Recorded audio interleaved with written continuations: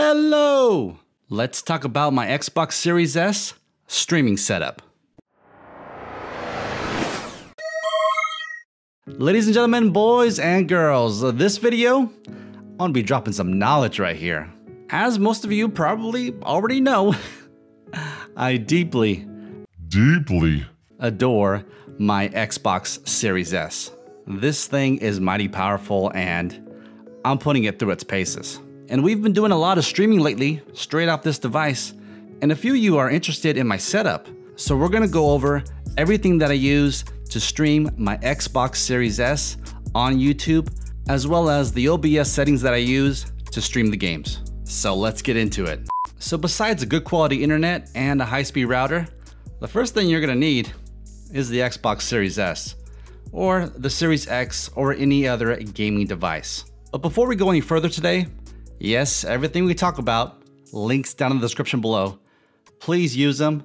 It doesn't cost anything more for you to pay, except uh, I get a little bit of a kickback uh, for sending you to Amazon's way. So it does help me out and it does help the channel, and I greatly appreciate it.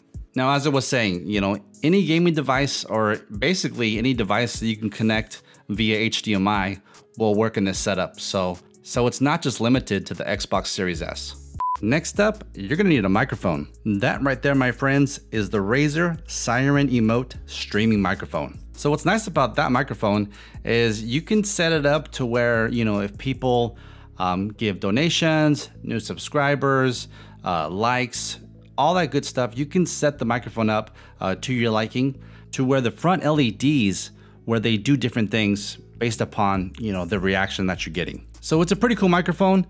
Sound quality, um, well, I've had issues with it, so that's why I don't always use it to stream my games. As a matter of fact, the majority of the time, I use my Blue Yeticaster whenever I'm streaming or, like right now, recording my videos. So next to the Razer microphone, you're gonna have the Elgato HD60S. That, my friends, is going to be the video capture card. So here's gonna be a better look at it. Um, in my full review, I'll talk more about it in detail, uh, but for right now, I'm just gonna show you the connections. So on this side of the capture card, this is where the video HDMI input is placed. So the HDMI that's ran from your Xbox Series S, the back of it, the Series X, or whatever device that you would normally plug in to your TV, you would plug into here. To the right of that, that's gonna be our USB Type-C port. The cable that comes with the device has a USB Type-C on one end and a USB 3.0 port on the other end. So the USB Type-C gets plugged into here, and then the USB 3.0 port gets plugged into your PC.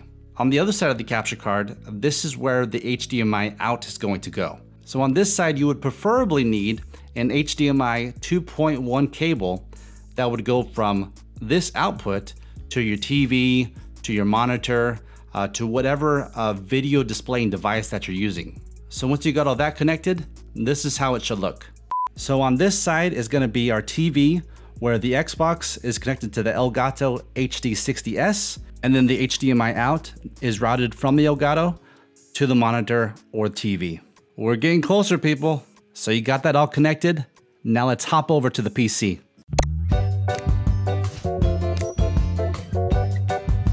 All right, so as you can see, I have a very basic OBS setup. Um, I got some sources right here. I got an audio mixer right here. Um, it's very, very basic. And depending if I'm playing via the cloud, via Google Stadia or Amazon Luna, uh, these settings might be a little bit different. Uh, but as for right now, with the settings for my Xbox Series S, I have the audio input capture device, which captures the audio coming from the Xbox Series S. I have the video capture device, which is the video part of the Xbox Series S. I also have my desktop audio setup, so in case I want to play any audio from my computer, I could do that as well. And of course, I got my microphone setup, which in this case, I have the Blue Yeticaster. Now, when you first download OBS, some there's not going to be any sources available. So you're going to have to kind of fiddle around with it to see which sources belong to which um, and set it up accordingly. It does take some tinkering uh, to get it just the way you want it, but uh, but once you got it set, like that commercial says, you just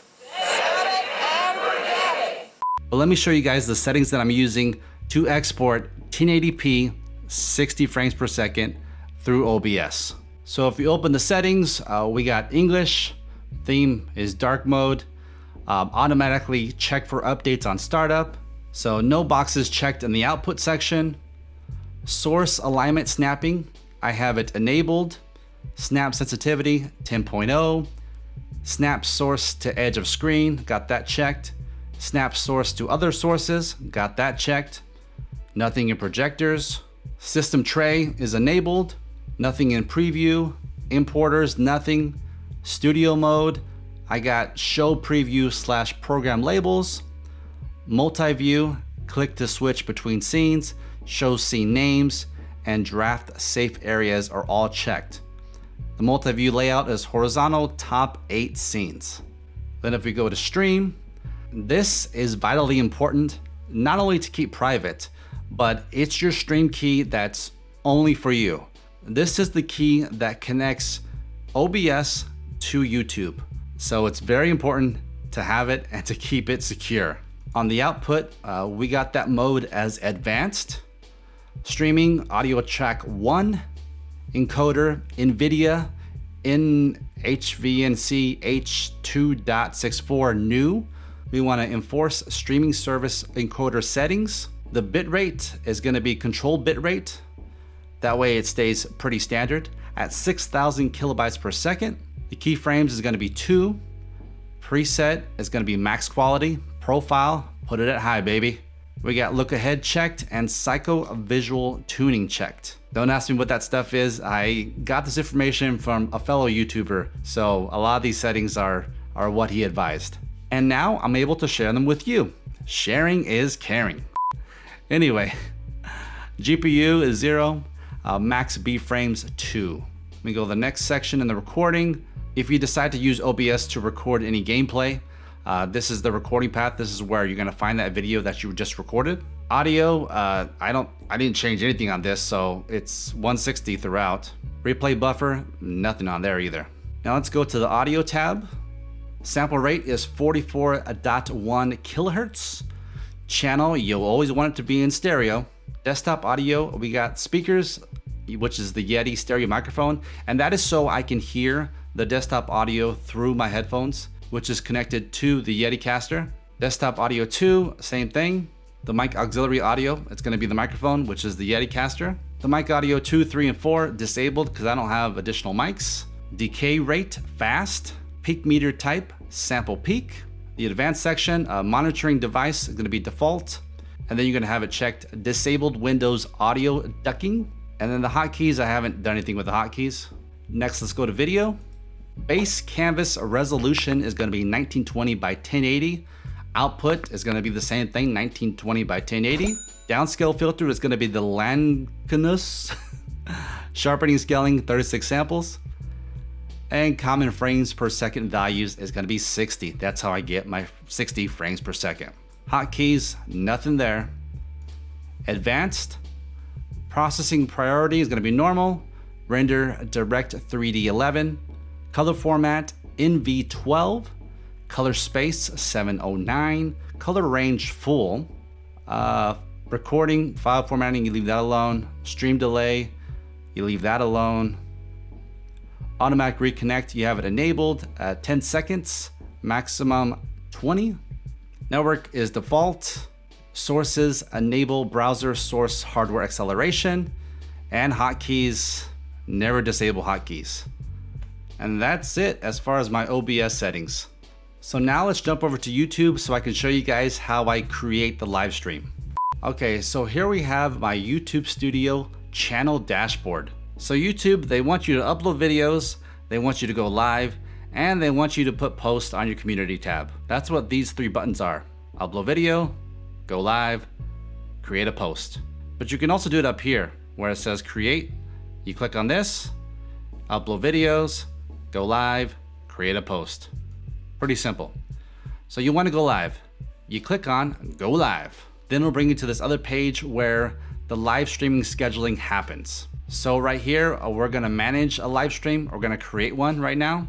So I'm gonna click schedule stream. If you've done previous live streams before, then you could use this to reuse any previous old settings from your previous live streams.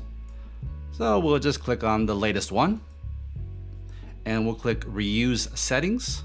Now here's where you're gonna set up the stream. So you're gonna name it, of course. You could put it as public, unlisted, private, or only allow channel members. So we're gonna do a private for this one. Here's where you're gonna put some additional information, maybe some information about the game, maybe a few links to affiliates, maybe different products that you feature in the video or anything else you can put here in the body. You also wanna put at the very bottom or at the very top, I prefer it at the very bottom, but these hashtags. You could do up to three hashtags that would associate your video with a hashtag. So they say it helps in getting your videos out there to different types of people.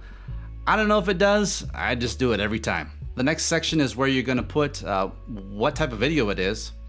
In this case, we got a gaming video, and whenever you do a gaming video, a gaming stream, you can type in the actual game that you're actually streaming. So what's nice about this feature is it'll have a picture of the game kind of at the top and it'll give you know some options in making a purchase or that sort of thing. Here's where you're gonna have the date that you're gonna do the stream. You're gonna set up the time. If you're able to do that, you can turn that on. Here's where you're gonna choose your thumbnail. And you have to certify down here if this video is made for kids. And further down in the advanced section for this stream, there's gonna be an age restriction. So you can choose if this stream is gonna be, you know, for adults only. And if you choose to do that, then there's gonna be limited or no ad monetization. So that's kind of tough right there. But you wanna be honest because if you're not, you know, eventually it'll probably catch up to you and and you want you don't want to put in all this work and then get screwed over, you know what I mean? So once you got all that filled out, you're gonna hit create.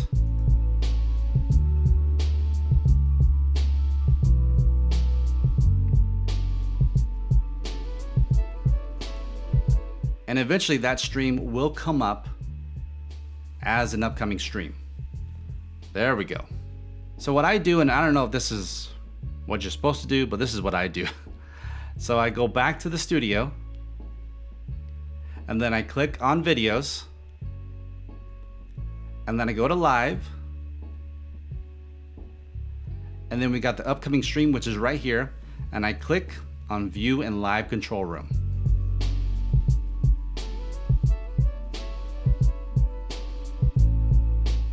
So this is gonna be your stream. We got the title right here, the category gaming, Star Wars Jedi Fallen Order. Privacy is gonna be private. Monetization we got on, scheduled for December 1st, 2020 at 7.55 p.m. Uh, you're gonna get a preview right here once you start streaming in OBS. And down here is gonna be your stream settings. This is your stream key right here. It's blocked out because, like I said, it's gotta stay private. So this code right here is what you copy and paste into OBS so that way it connects to your YouTube stream. Enable auto start, I got that off. Enable auto stop, got that off. Enable DVR, so that way you can rewind it in the middle of the stream in case you missed like the earlier part. 360 video, got that off. Uh, added delay, none. Closed captions off. Unlist live replay once stream ends, I got that off because I want it to be there and available and for more people to watch if they want to uh, as the stream ends. Analytics, this is gonna show your concurrent views, your chat rate, your playbacks, and your average watch time. Viewer activity is gonna show if you got any super chats or members. Stream health, uh, this is where it's gonna tell you if you have any issues with your stream. If it's good and data is being received and it's, you know, stream is fine, you have a green dot right here and it'll say stream is great. And then right here is where the live chat happens. So you chat it up in here, you say whatever you want. Um, on my end, at least, I can respond back to your to your chats. But a majority of the time, you know, I'm playing the game, so so I'll respond audibly and I won't type in my response right here. This is pretty much there so I could say hello, I could say goodbye or good night at the very end. That's kind of what I use it for. So now we got it all set up and the fun is about to begin. So I split my screen just like that. On the left hand side, we got OBS open. I can see my game right there. On the right hand side, we got YouTube open. I can see my stream right here. I'm good to go. So now let's just click start streaming.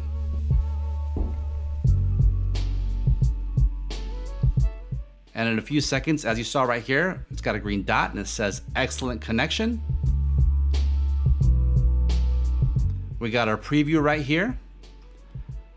We got a little pop-up that says go live. Looks like you're ready. Click here to start streaming. So you're good there, you're good there, you're good here. Now you just click go live when you're ready to get started streaming. So I really hope that that behind the scenes, you know, kind of shows you exactly, you know, what you got to do to set up a live stream. I mean, there's a hundred other ways that you can do this. Um, that's just my setup. So of course, if you want to pick up anything that I featured here, or if you have any questions, uh, check the links out in the description below, or just leave a comment and I'll definitely get back to you as soon as I can. Don't forget to subscribe and click the notification bell to make sure you're in the loop for all things Handsome Gadgets. Make sure to give this video a thumbs up before you leave, as it definitely helps out the channel quite a bit. Don't forget to follow me on Twitter and Instagram at Handsome Gadgets. Thank you and have a good one.